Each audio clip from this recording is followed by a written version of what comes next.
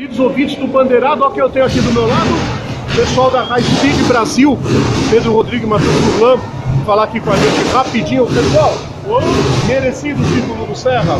Merecido o título do Daniel Serra, um cara que foi constante durante toda a temporada, venceu corrida, vinha de um campeonato e como ele foi regular, valeu a disputa. Vale lembrar que o jogou limpo a temporada toda, o Serra jogou limpo, então título merecidíssimo e o Fraga, vice-campeão, com certeza deve vir mais forte ainda para a disputa do campeonato. Com certeza. E aí, Pedro? Ah, isso a gente já vinha fazendo desde o meio do ano, falando até nos alucinados do, do, do Rio.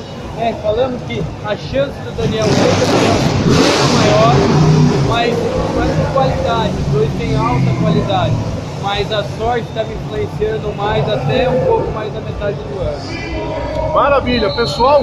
Daniel Serra, bicampeão da Stock.